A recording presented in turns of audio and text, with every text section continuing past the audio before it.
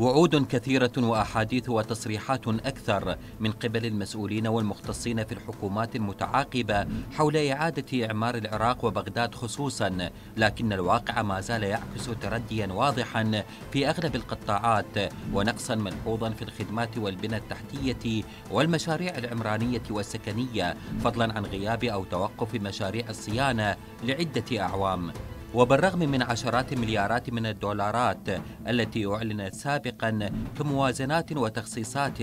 أو حتى قروض ومنح من دول عربية وأجنبية والتي من المفترض أن تعيد لدار السلام رونقها وتجعلها في مصاف المدن والعواصم المتحضرة والحديثة غير أن البغداديين ما زالوا يشكون من غالبية شوارع العاصمة المليئة بالحفر والمطبات حتى باتت تهدد سالكيها إضافة إلى تدخل تدهور الأرصفة وانتشار النفايات والأسلاك الكهربائية الشائكة التي تشكل خطرا على حياتهم ناهيك عن تراجع تطوير البنى التحتية بسبب الصفقات المالية المشبوهة التي حولت الكثير من المشاريع الاستثمارية والخدمية إلى حبر على ورق. ومع كل شتاء تتعرى بغداد وينكشف المستور عندما تغرق الشوارع بمياه الأمطار والمجاري وفي الصيف تتقدم أزمات الكهرباء وجفاف الأنهار الانهار والتصحر قائمة الأزمات. أما الزحامات المرورية الخانقة فهي ضيف ثقيل ودائم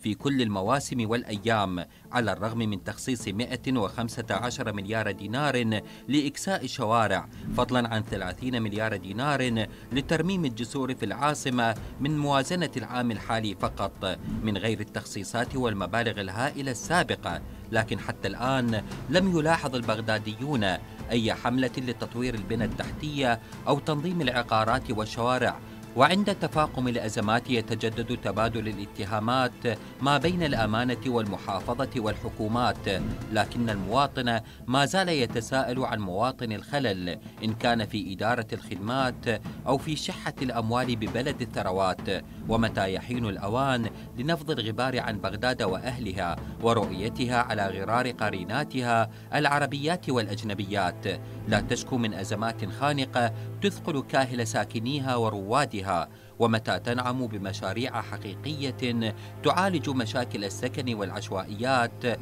وتخطيط عمراني يكفل الخدمات والمناطق الخضراء وشبكة طرق تستوعب النمو السكاني وتزايد العجلات.